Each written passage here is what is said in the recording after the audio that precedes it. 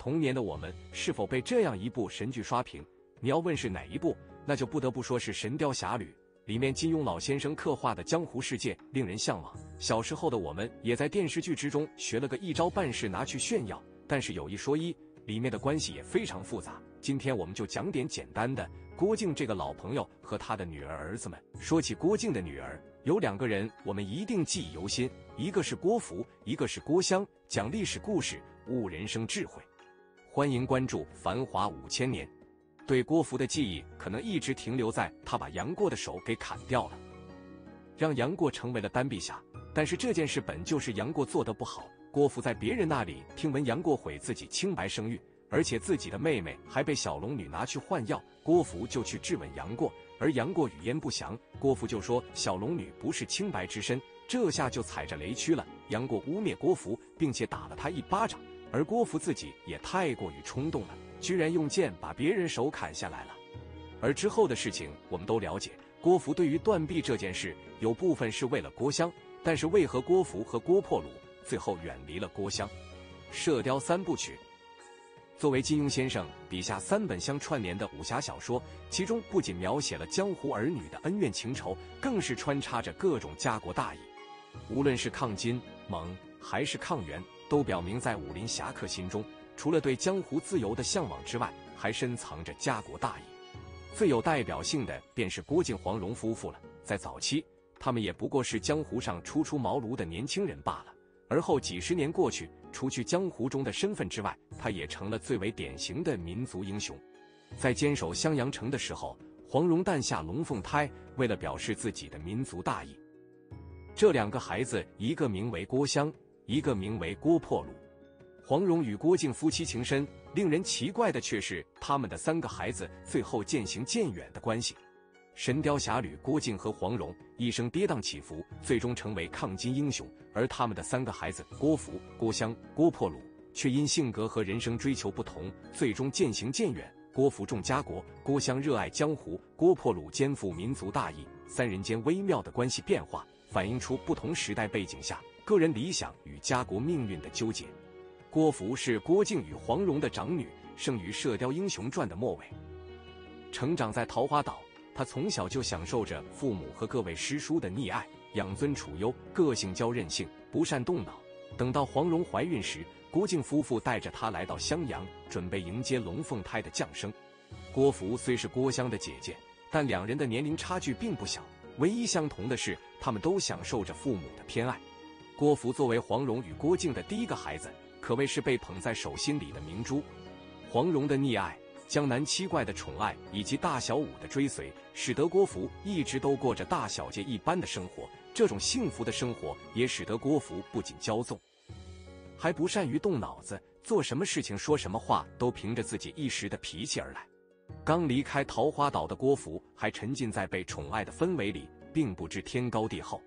来到襄阳后，他才发现父母在江湖上的威名不过是外界的美化。武林中多是不把他放在眼里的人，郭芙吃了不少闭门羹，才明白自己必须长大，不能再做个只会撒娇任性的小女孩了。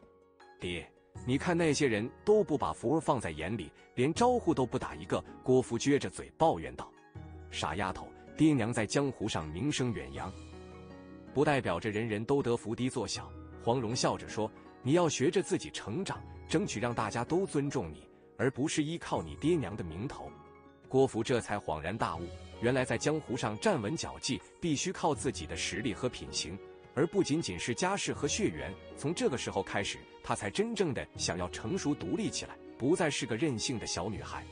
桃花岛虽小，却是郭芙心中那片纯真的乐土，而襄阳城外则随处弥漫着腥风血雨的味道。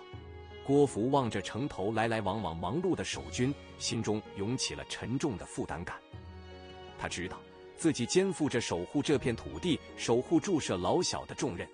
与郭襄和郭破虏不同，郭芙的成长环境是桃花岛这个小家，而不是江湖或襄阳城。他心中对家国的想念远超过江湖恩怨，这也注定他与另外两位兄弟的不同。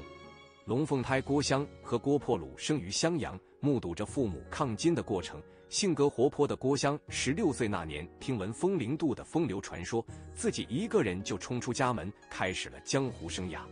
爹娘，儿今日要去风陵渡看看，听闻那里英雄辈出，想去瞧瞧。郭襄眨着明亮的大眼睛说：“好吧，去吧，看看英雄豪杰也好开开眼界。”郭靖笑着揉揉女儿的头发。郭襄很快就与杨过相识，并在众人帮助下找到了神雕大侠郭靖。他甚至获得了个小东邪的外号。郭襄骨子里流淌着江湖脾性，他渴望自由，不愿被拘束。哪怕郭靖、黄蓉再宠爱他，他也选择了追随杨过的脚步，漫游江湖。江湖之大，与人无限遐想。我要去看看英雄们的传说是否真实，要去探索这片神奇的疆土。郭襄眺望远方，目光灼灼。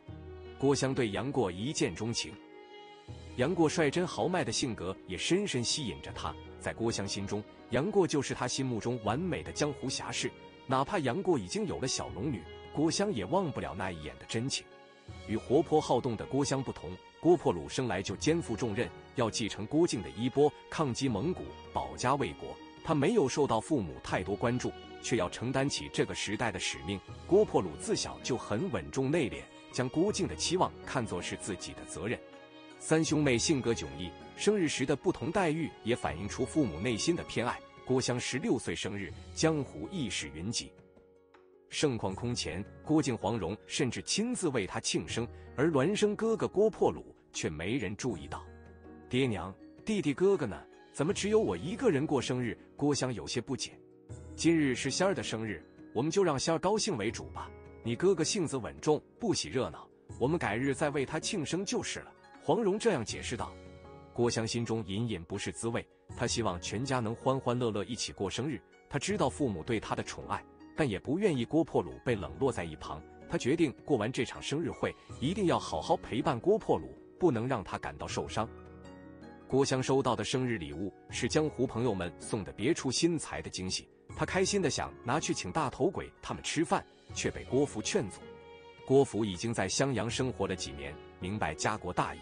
而郭襄还是个对江湖浪漫抱有幻想的小女孩，从这一刻，他们的隔阂就出现了。襄阳保卫战时，郭芙和郭襄又表现出迥异的选择。郭芙明知武艺不如人，还是勇敢的选择和家人一同守城；而郭襄在被金轮法王擒获后，第一时间就想着去寻找杨过和父母，完全没有急着回襄阳救援的意思。福儿，你这次就跟着爹娘一块守城吧。不能再让你一个人冒险了，郭靖担忧地说。爹放心，儿就是死也要跟您一起守护襄阳。郭芙坚定地说。郭芙重家重国，哪怕牺牲小我也在所不惜。郭襄重江湖义气，哪怕家国存亡也无法收拾他对江湖的眷念。襄阳陷落后，郭芙不知所终，郭襄已经踏上了寻找杨过的悠长旅途。杨过必定身陷险境，我必须去找他。家国大事，爹娘自会应对。我现在只想救出杨过。郭襄心念着杨过，转身就向远方跑去。郭襄知道襄阳危在旦夕，但他信任父母能守护家国，他更担心杨过的安危。好不容易找到真爱，他怎能眼睁睁让杨过遇难？哪怕是背叛了家国，他也要救出杨过。